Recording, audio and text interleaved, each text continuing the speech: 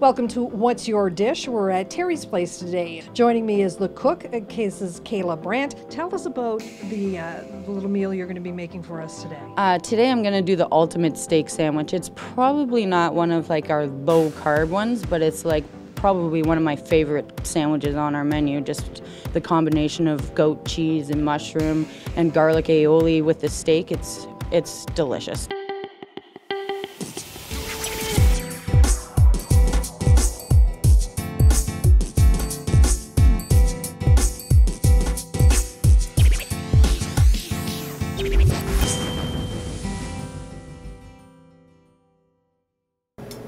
All right, so today I'm gonna make the ultimate steak sandwich. I start off by first taking our steak.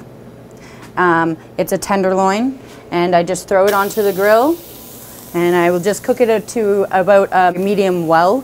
So then I got my mushrooms, which I will just throw up here in the corner.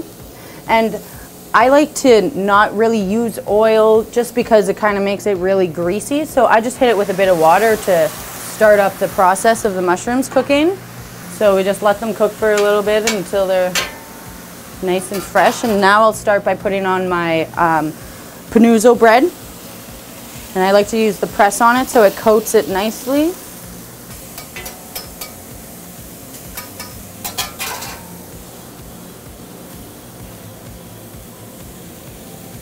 You want to see a nice golden brown like that on your bun. So I'll remove my mushrooms.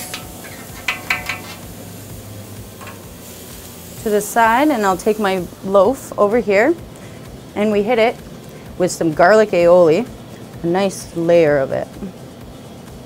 Just like so. And then we take our goat cheese, nice, great. Spread it over nicely. And then we will take our mushrooms, spread them on nicely. Check my steak, which is just about there. Now take it over here for just a few seconds and let it rest just for a few moments. Normally it's pretty hot, so take my tongs and I just like to slice it nice and thin. And then I would just take it, spread it around. Then we close it up.